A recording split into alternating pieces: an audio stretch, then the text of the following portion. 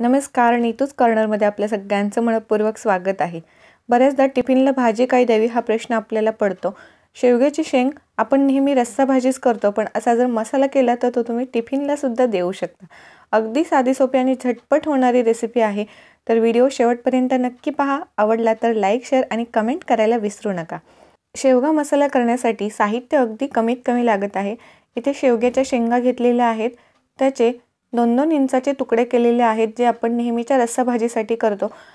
एक मोठा कांदा बारीक चिरलेला हे लसूण आणि खोबऱ्याची पेस्ट आहे आणि बारीक चिरलेली कोथिंबीर. आता हे जे शेवग्याची शेंग आहे ते आपण अशी रस्साभाजीसाठी ठेवतो तर त्याला पुन्हा एकदा मधोमध कापायचं आहे. म्हणजे असे त्याचे दोन भाग होतात. शक्यतो जाडजाड शेवग्याच्या शेंगा असतील ना तर हा मसाला खूप टेस्टी होतो.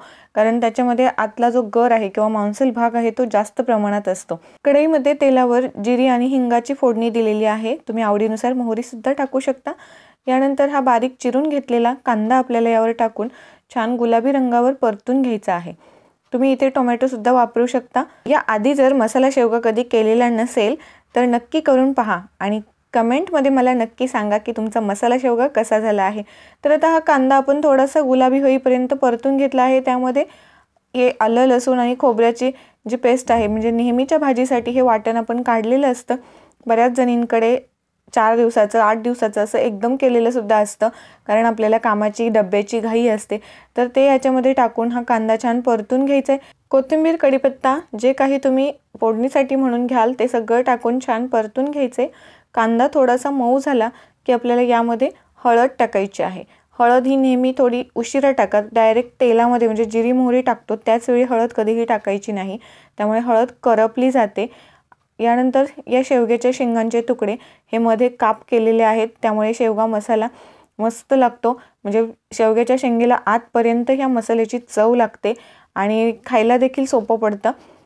अशा पद्धतीनं हा मसाला आपल्याला परतून घ्यायचा आहे. चवीनुसार मीठ टाकायचं आणि पुन्हा एक पाच मिनिट थोडंसं हे परतून घ्यायचं आहे. मीठ टाकल्यामुळं त्याला पाणी सुटतं आणि शेवग्याची शेंग अगदी छान परतली जाते. ही शेंग अशीच खायला सुद्धा खूप मस्त लागते. जर लहान मुलं असतील तर त्यांना तुम्ही अशीच ही शिजवून दिलीत ना तर खूप आवडीने खातात. आता आपण यामध्ये थोडी कढीपत्त्याची पाने टाकूयात. जे माझं सुरुवातीला कढीपत्ता टाकायचं विसरलं होतं म्हणून मी इथे पाने टाकलेली आहेत ही. तुम्ही सुरुवातीलाच म्हणजे जिरी मोहरीची फोडणी करतानाही कडीपत्त्याची पाने टाकून घेऊ शकता. आता यामध्ये आपल्याला मसाला टाकायचा आहे. तुमचा जो रोजचा घरगुती मसाला आहे तो तुम्ही यामध्ये टाकू शकता. लाल मिरची पावडर टाकली तर तुम्हाला एक्स्ट्रा गरम मसाला टाकण्याची सुद्धा गरज पडेल. हा घरगुती काळा मसाला आहे. हा बनवण्याच्या सर्व टिप्ससहित व्हिडिओ आपल्या चॅनलवर उपलब्ध आहे. तुम्ही हा व्हिडिओ पाहू शकता. तर हा काळा मसाला टाकला की आपल्याला इतर कोणतेही मसाले टाकण्याची गरज उरत नाही. घरगुती काळा मसाला हा एक उत्तम प्रकारे सर्व मसाल्यांचं मिश्रण असलेला मसाला असतो. तर आता यामध्ये आपण गरजेनुसार पाणी टाकायचे. पाणी टाकताना अर्धा ते पाऊण ग्लासच आपल्याला पाणी लागणार आहे. कारण ही शेंग आपण सुक्की बनवतोय. शेवगा मसाला बनवत आहोत. ही रेसिपी पाहून तुम्हाला नक्कीच माझ्या बोंबील मसाल्याची आठवण झाली असेल. कारण त्याची मेथडसुद्धा सेम अशीच आहे. फक्त शेवग्याच्या शेंगांऐवजी तिथे मी बोंबीलचे तुकडे वापरलेले आहेत. तर नाही तरी शेवग्याला आपण व्हेज बोंबीलच म्हणत असतो. बोंबील मसाला आणि शेवगा मेथड जरी सेम असली तरी टेस्ट थोडीफार वेगळी असणारच आहे. यामध्ये आणखी एक घटक मी वेगळा टाकत आहे तो म्हणजे शेंगदाण्याचा कूट. तुम्ही एक ते दोन चमचे शेंगदाण्याचा कूट यामध्ये टाकला आणि मस्त हे मिक्स करून आपण शिजू दिलं. खूप छान अप्रतिम असा शेवगा मसाला तयार होतो. एकदा करून बघा. आणि टिफिनला पण देऊ शकतो. टिफिनला शक्यतो आपण सुक्या भाज्या प्रिफर करतो. आणि त्याच त्या त्याच त्या भाज्या देऊन आणि खाणाऱ्याला पण खाऊन कंटाळा येतो. तर अशावेळी अशी ही शेवगा मसाल्याची भाजी एक नंबर ठरते. नक्की करून पहा. आवडल्यास लाईक शेअर आणि कॉमेंट बॉक्समध्ये मला नक्की सांगा. चॅनलवर पहिल्यांदा असाल तर प्लीज सबस्क्राईब करा. म्हणजे इथून पुढचे सगळे व्हिडिओज तुम्हाला पाहायला मिळतील. शेवग्याची शेंग कोवळी असेल तर ती लवकर शिजेल. जर थोडी निबर शेंग असेल तर तिला सात ते आठ मिनिट लागू शकतात.